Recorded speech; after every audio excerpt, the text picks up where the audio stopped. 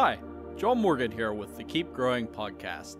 This episode starts off 93 million miles away from Earth and thousands of years ago in the core of our sun. Wait, what? Okay, okay. Stick with me.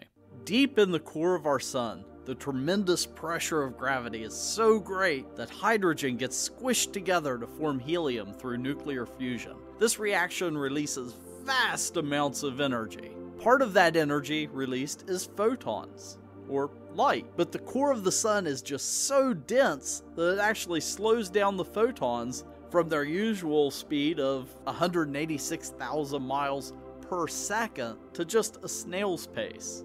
They bounce off other atoms, swirl around in convection currents, and slowly make their way to the surface over thousands of years. Then they finally go zipping out of the corona at the speed of light, covering the 93 million miles to Earth in about 8 minutes. Then they come rocketing through the atmosphere, and if they're lucky and they don't hit a particle like maybe a piece of dust or something in the upper atmosphere, they might just hit a plant's leaf and if they're red or blue, they might get absorbed. Green gets reflected, that's why plants are green. Anyhow, when the photons get absorbed, they excite molecules in the chloroplasts.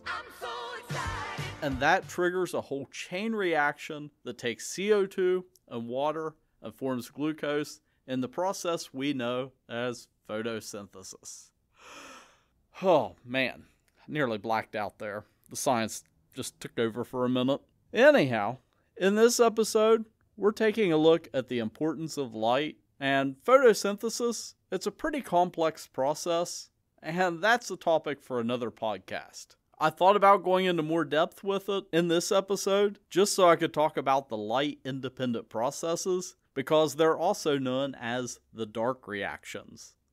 And I really just wanted to say the dark reactions. But again, we've got bigger fish to fry, like how to choose the right lighting for your plants. Lighting is one of the most important aspects of gardening. Some plants love sunlight, but will perform poorly or die in the shade. Likewise, some plants are more suited to the shade and will just cook in full sun. Then there's plants like fall mums, whose blooming is dependent on the length of the day. When the days get shorter in the fall, it triggers them to produce blooms. With all the possibilities, where do we even start? Well, for the home gardener, a good place to start is taking a look at seed packs and plant tags. In the planting instructions, it will generally say what the light requirements are for a plant, something like full sun, part sun, or shade. However, those descriptions can be interpreted in a bunch of different ways. And it's something that people in our industry seem to think people will just magically know when they come into a garden center. So here's what those terms actually mean.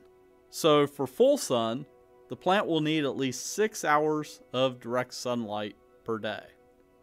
And sometimes the symbol you'll see on a plant tag is a completely yellow sun. Part sun or part shade, these are plants that require three to six hours of sunlight. And sometimes the symbol you'll see is a sun with half of it colored yellow and half of it grayed out. And finally, there's shade or full shade. These plants can survive with less than three hours of sunlight a day. And sometimes the symbol you'll see is a sun that's completely grayed out. So, plants require or tolerate different amounts of shade. And understanding these differences is important for planting your garden. Many plants are adapted to growing in shady areas, and therefore they're more sensitive to light. And many shade plants we grow are descendants of plants that are native to forest floors and the margins of wooded areas. And they're more efficient at utilizing what sunlight they can get. So, shade, it's kind of important, and there's actually different types of shade to consider. Dappled shade is produced by trees and creates an ever moving pattern of sun and shade.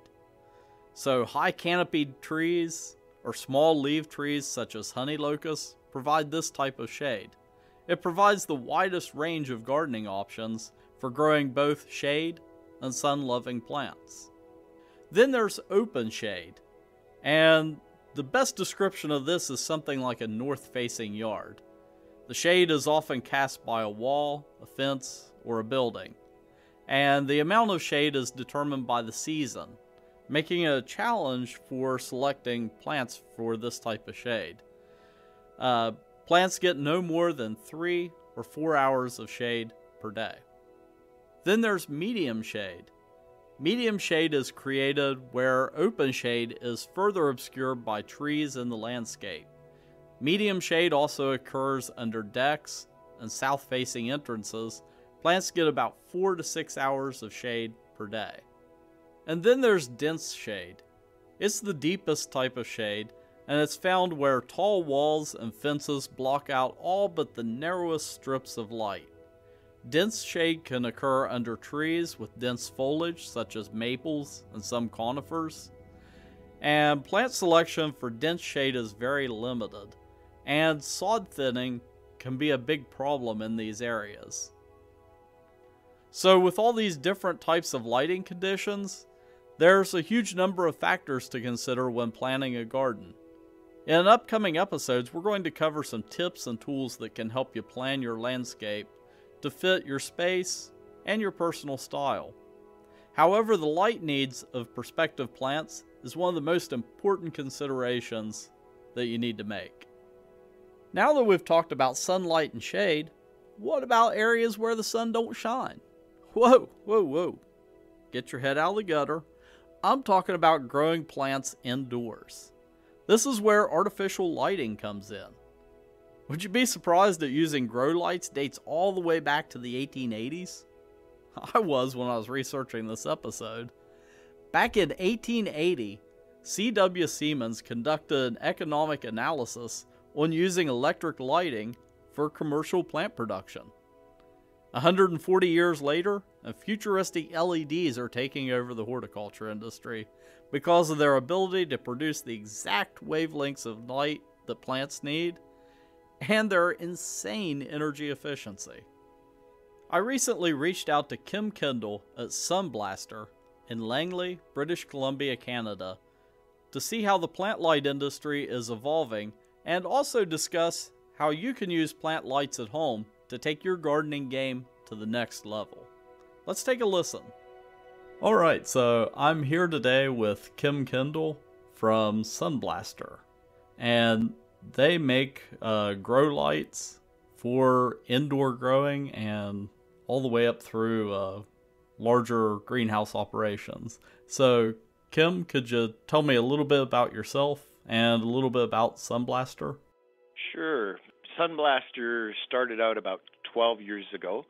Um, we were primarily selling uh, T5 fluorescent lighting into the hydroponic market and we got very well established in that market. About two and a half years ago, we were the the company that we were with. They sold off our lighting division, and we're now a standalone um, horticultural lighting company. And we've expanded into um, compact fluorescent grow bulbs, and we've gone big into uh, LED light strips. Um, and then we also have a kind of a matching plastics program where we sell trays and domes, um, all the way from a home gardener series up to uh, commercial use. So it's it's been an interesting evolution and a, and a kind of a neat um, a neat progression here. Um, myself, I'm a third generation greenhouse brat. So my grandfather had greenhouses, mom had greenhouses and I was kind of slave labor in both those operations, and I swore I'd never have a greenhouse. And lo and behold, I opened up a greenhouse garden center, and uh, now my son, my oldest boy, has taken over from that. Dad thought he could semi-retire, and Sunblaster came uh, waving their finger at me, and they said, "We need you. Um, you've got a horticultural background. We need a tester. We need a an experimenter." So besides answering the phone and, and um, managing the warehouse, I have uh, in the office behind me, I have a large grow room where we have tons of racks and shelving, and we're testing um, our lights and our products and our competitors' products, um, and we're trying to recreate the successes that we know the customers are going to have with our products, and we try to create some of the disasters and sort of the negative things that might happen for, especially for the new um, the new folks. We we take that information, we translate it into um, customer service uh, manuals and write-ups so that folks answering the phone or our salespeople can can come up with the proper uh, answer. We have commercial uh, CEA, controlled environment agriculture um, operations that we deal with on a daily basis. I just got off the phone with a company in Iowa who was having a little problem with his uh, lettuce, and it turned out it it was he was blaming the lights, and it was a classic calcium deficiency. As soon as I saw his pictures, um, it was like, "Hello, your calcium's not quite right." So in a in a day's journey, I do all kinds of interesting things. Our our lights are in everything from a kitchen counter to a large warehouse with thousands of our lights and millions of plants. And um, and then I get to talk to the good folks at Bob's Market, so it's it's, it's fun. yeah. So uh, you mentioned kind of the wide range of growing. Um, what are uh, some of the different types of lighting available uh, for growing indoors? Well, mainly what we what we have. Um, I mean, you can grow to some not bad degree uh, under a an incandescent 100 watt bulb, or you could grow under um, you know a, a traditional fluorescent um, light fixture. Any light getting down to the soil level is is a good thing. Uh, so when I say T5, that that's a very small, compact, high output fluorescent. Um, and what we try to do with that, um, it has a 6400K uh, rating. That's a Kelvin rating, and it's just a scientific term that describes the spectrum that we're trying to match, and that's the spectrum of a noonday sun without harmful UVA rays uh, and without harmful uh, infrared rays. So if you stuck a, I'm going to sound all scientific here, a spectroradiometer outside at noon, and it'll graph out a really cool looking spectrum. And then if you put it underneath our lights, we almost mimic it um, perfectly. So we're we're doing that with our T5s. We've brought along um, the compact fluorescents, and the best way to describe those, it looks like a standard light bulb. It's got a standard socket on the bottom, but on on the top, on the bulb part, it's a twisted uh, fluorescent that kind of looks like a uh, uh, an ice cream cone, a soft ice cream cone. It, it's got that kind of twisted shape, and people are using those for spotlighting. They're using them for hanging over, you know, a single tray or single plant, and they go from a a low of a 13 watt all the way up to a high of a 200 watt. And um, the 200 watt, you pretty much have to wear heavy duty sunglasses because those things are so bright. So after we got those successfully installed into the market, now there's the big um, technology rush, I guess you'd call it, of, of LEDs. And we stayed we stayed true to what's worked very very well for us with the 6400K and we actually sourced um, our chips that make up our LED lights are from a company in Japan called Nichia, and we pay a premium because they're the best chips in the world, but we get a a really superior product and a, and a perfect 6400K uh, light spectrum out of those chips. And um, what we're finding now with the with the LEDs versus our T5s.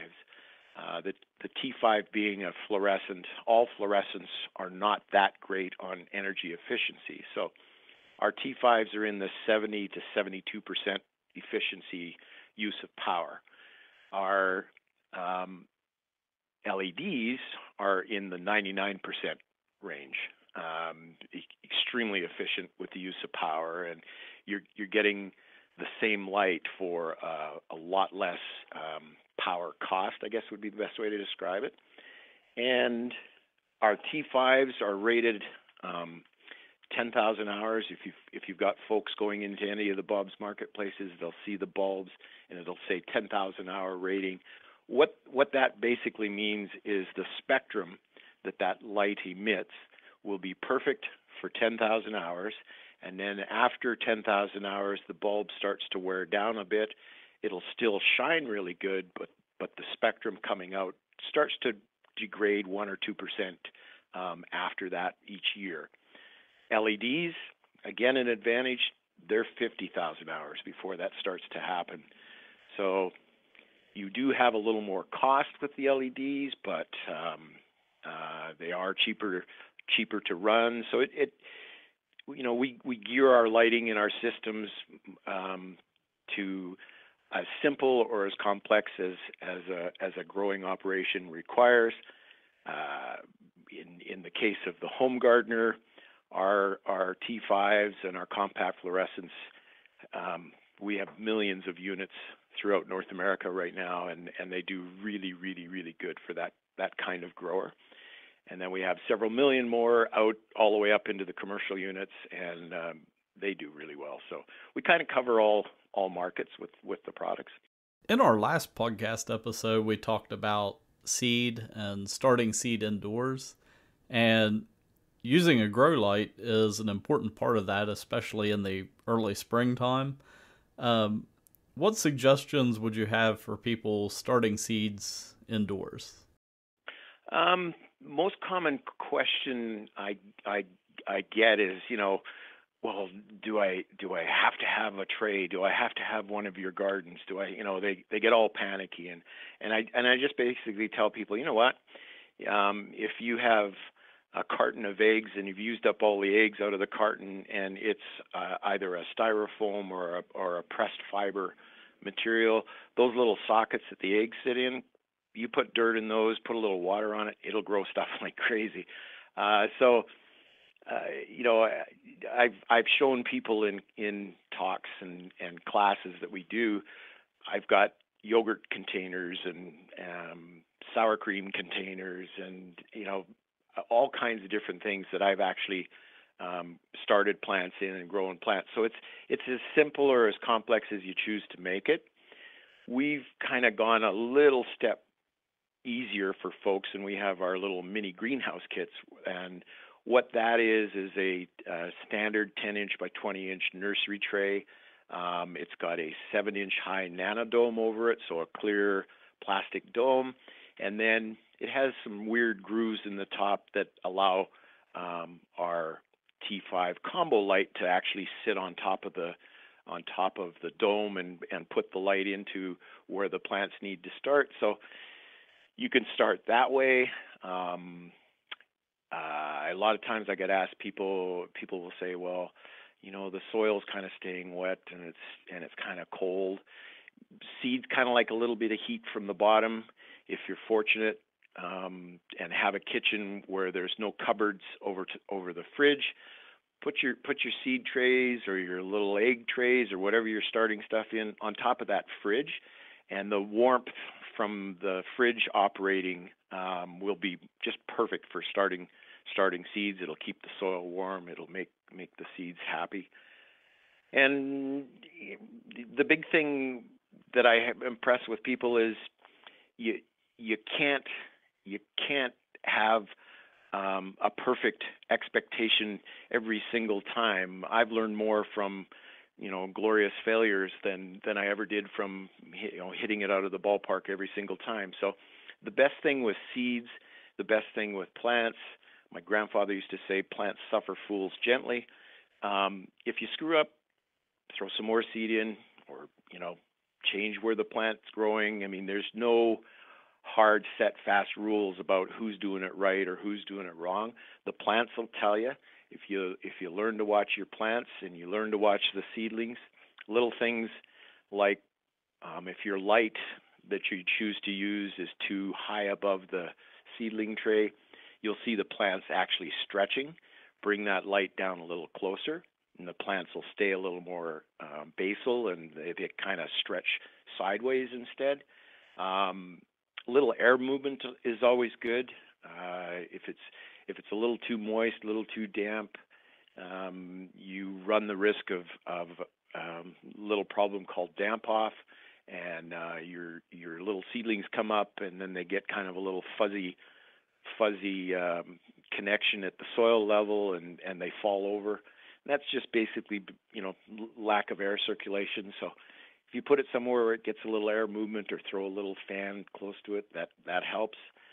And then um, most people overwater too much, so they they put their seeds in whatever container, and uh, they soak the daylights out of the soil. And if the seeds start coming up, they get all excited and soak it some more and soak it some more, and and all of a sudden I get a phone call, hey, my seeds are all looking terrible. And most times it's just you know they've watered them too much and they've drowned them. Um, you've killed them with kindness, basically.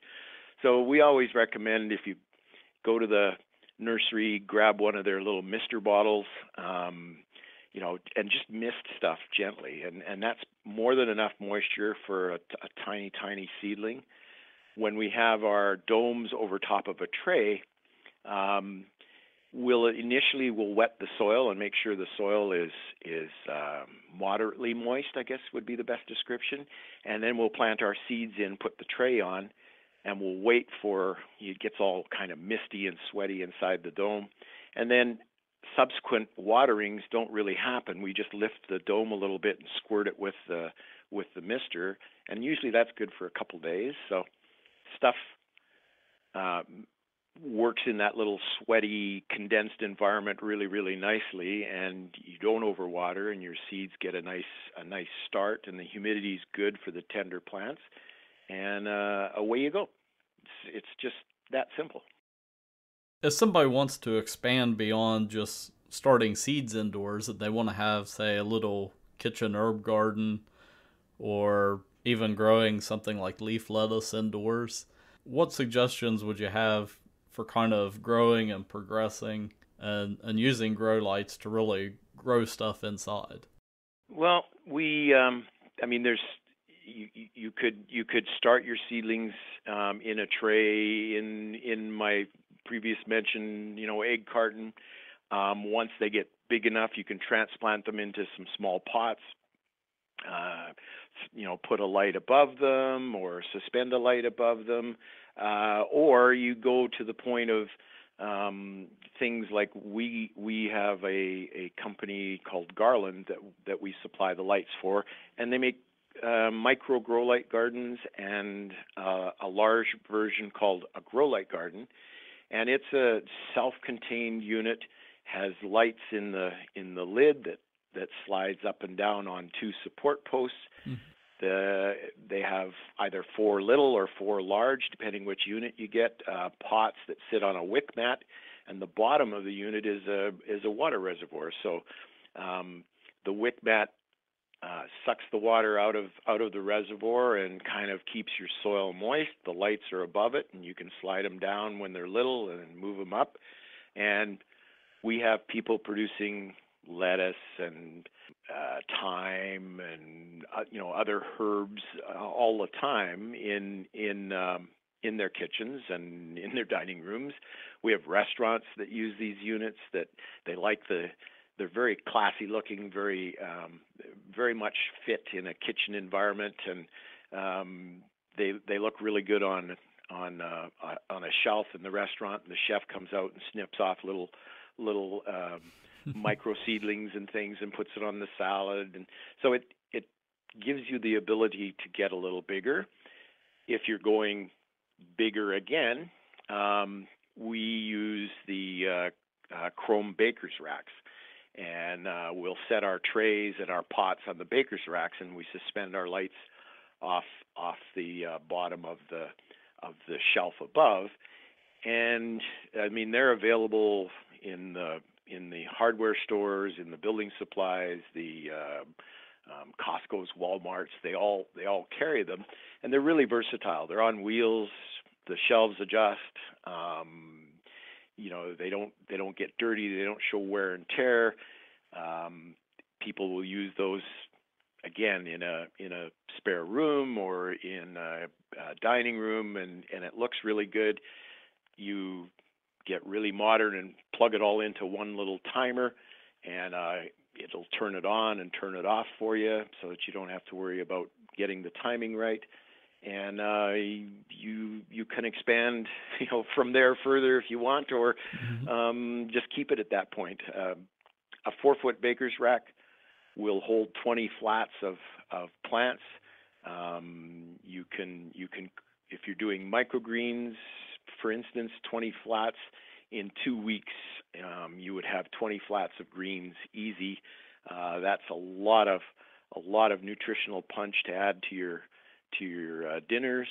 What a lot of people will do is keep two or three flats of microgreens, two or three flats of leafy greens. They start mixing it up, and and uh, maybe one shelf is just um, all herbs that are wanting to stay a little drier, and it just gives you a little more versatility. So, again, it's as small as you'd like or as large as you'd like.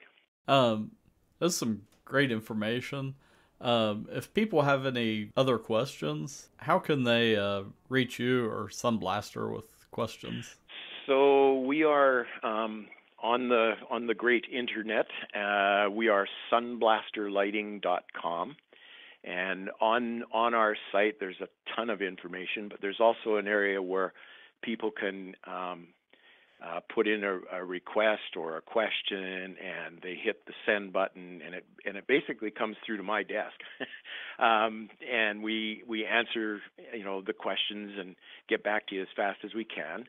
Um, we also we're in Canada, um, so we have a uh, um, you can call our, our office number. It's area code 604 381 1166. Um, that will get you into the switchboard, and somebody nice will answer the phone and refer you to to me or you know one of our other techs that are here, um, and we can answer questions that way. We have distributors carrying our product throughout United States and Canada.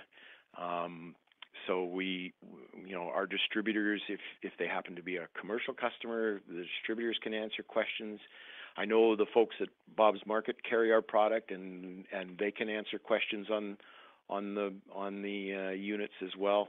Um, we kind of work on the basis that there's no such thing as a foolish question. Um, they're all important. We like answering them. We like setting people's mind at ease and we also like encouraging people to grow stuff because uh, we need to grow more more of our own food. Uh, so we totally encourage uh, getting the calls, and we enjoy it because we learn about you know what people are doing and where, and um, you know I, talk to people every day from South Carolina and Florida and California and um, all across Canada, and so it's it's really cool, and I get a good sense of what our equipment's doing and where and so I would totally encourage, you know, if you've got a question, please don't stew about it. Please get in touch with us. We will answer you as fast as we can. Again, I want to thank Kim for sharing this great information. After we had wrapped up the interview, we were talking about how light has an effect on us too. Personally, I suffer from seasonal affective disorder, and during the darkest part of the winter, I can start to get pretty depressed. However, I'm lucky that I work at a place where it's warm and sunny every single day of the year. All that I need to do is just step into one of our greenhouses. Let's end this episode with this week's gardening wisdom. It comes from the poet Alfred Austin. He writes The glory of gardening, hands in the dirt, head in the sun, heart with nature. To nurture a garden is to feed not just the body, but the soul. For some more great information on the role light plays in gardening, and links, diagrams, and more about this episode, check out our show notes at bobsmarket.com slash keepgrowing.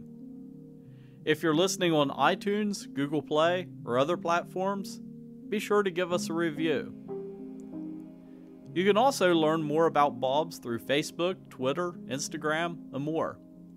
Check out Bob's Live, our weekly live broadcast on Facebook, where we explore what's happening in the greenhouse, my garden, or where we do gardening demonstrations. If you want to contact me directly with questions, comments, or smart remarks, shoot me an email at keepgrowing at bobsmarket.com. Until next time, keep growing.